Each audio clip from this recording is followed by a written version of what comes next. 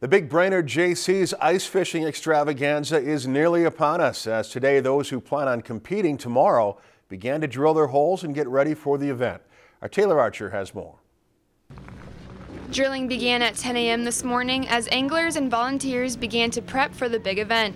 Yesterday we set up all the tents, uh, we got our little village started, and today we are drilling 20,000 holes on the ice and getting all the final preparations taken care of. Last week the ice was measured 20 inches thick.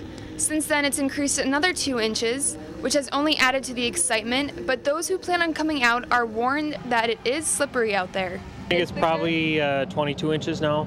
Um, it is very slippery. Um, obviously, you can see we did have snow last week uh, with the rain and the warm weather. It uh, made it a, a, skating rink.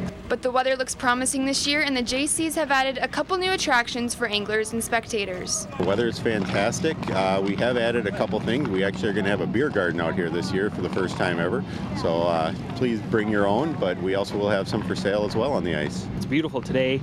So my guess, we might get a few more spectators, not, may, not probably fishermen, but spectators. The excitement has only increased with the event nearly upon us. I'm uh, waiting for you know 10,000 people to come out here and get the show started. Uh, excited to be on the ice with that many people, and it's just a fun time and a good experience to see what kind of characters we have show up. And spectators and anglers are encouraged to bring their ice cleats.